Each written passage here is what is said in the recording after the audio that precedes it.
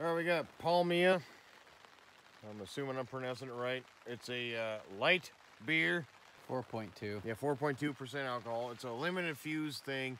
Um, this uh, brewery only makes this, I, I assume, what we've seen. There's no IBUs on the site or anything either, so uh, pardon that. Give it a shot, see what it's like. Yeah, it smells lemony. I'm sure it's a lager. Just a light beer with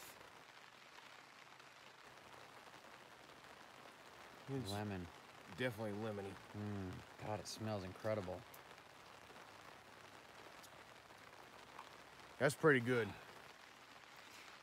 Smells like those Italian Mm. lemon sodas. It's almost like dropping a fucking lemon or a lime in a in a in an ice cold water in the summertime or a pitcher. You know what I mean? You got that that slight lemony hmm Yeah, flavor to it. like great, yeah, Mhm. and great scent too. Just a little bit of carbonation. yeah, a lot of lemon, like zest in there, you know, and then Mm. like what beer flavor there is is darn light. Yeah. Well, like like the the flavor of the lemon just it zaps you pretty Mhm. quick, fades, and then that's it. Mm. It's good. It's really Mhm. refreshing. If ever there was a summer drink, this is it. Yeah, oh yeah. But yeah, it's a very nice summertime kind of sit on the beach type of thing. Um, backyard barbecue. Yeah. Um, Yeah, definitely. this this would really. definitely out there grilling. Oh yeah. Yeah, Yeah.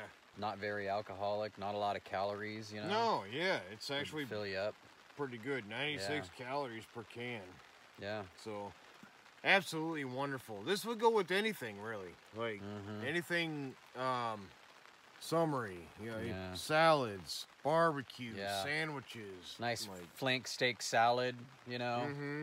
with Yeah. some cheese dressing or something on there, like a blue cheese crumble or something. mm-hmm. Um, yeah, it'd be really It's good. go good with like uh, some venison, like some nice sharp, Mm. you know, gamey meat.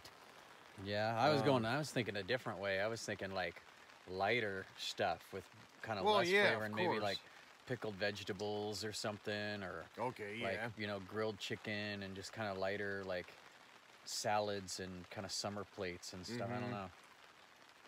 I don't know. Like I, I, think this would cut really good with like uh, sharp taste, I guess. So that's why I was going with that. Uh, you know, the Yeah. route with like salmon and bass and stuff like that. They're more kind of be yummy with some salmon. yeah, oh yeah. Yeah, This would actually go good with like if you're just having a fruit. yeah, it'd be good with fruits or like fruit salad or something. Yeah, or- oh, yeah.